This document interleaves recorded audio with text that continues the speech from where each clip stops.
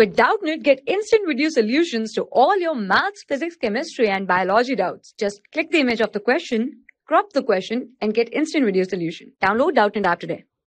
Hello everyone, consider the given question. Total number of stereoisomer of the compound 1-bromo 3-chlorocyclobutane is. So these four options are, are given. First one is 0, second is 1, third is 2, and fourth is 3. So first we have to draw the structure of the stereoisomers.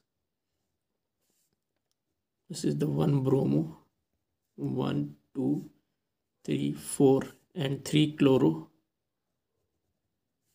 Cyclobutane. And it's another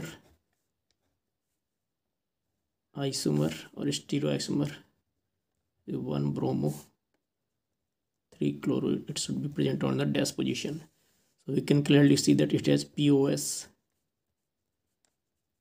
plane of symmetry. So this is only one we have we have to consider only one stereoisomer not its mirror image. Because it is now consider this one. Because it is optically inactive. So this also has plane of symmetry. So this also we consider only one not its mirror image.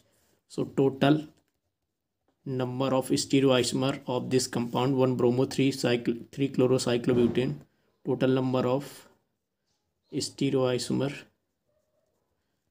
will be equal to 1 plus 1 is equal to 2 now consider the given option in which option it is given so it is given in the option number third hence option number third that is 2 would be the right choice thank you For class 6 to 12, IIT JEE and NEET level. Trusted by more than 5 crore students. Download Doubtnut app today.